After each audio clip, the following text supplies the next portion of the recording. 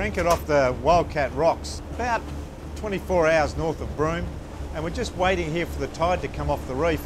And as the tide drops, it's racing. It's literally pouring off the reef, and it's creating wavelets and strong currents and whirlpools and eddies, and it's quite an exciting sight to see from off top of the boat. In about an hour's time, the reef should be exposed, and we'll be able to go ashore and lay our Transect tapes, work along the tapes to see what animals are there, and as well as look around for the general biodiversity of the area.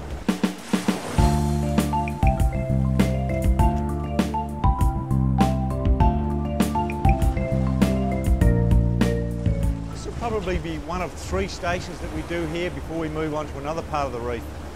I think in total, as we go through the 10 localities we've got planned for this reef, we should cover about 30 stations, but time will tell and we'll see how we go as we move along sampling the various stations.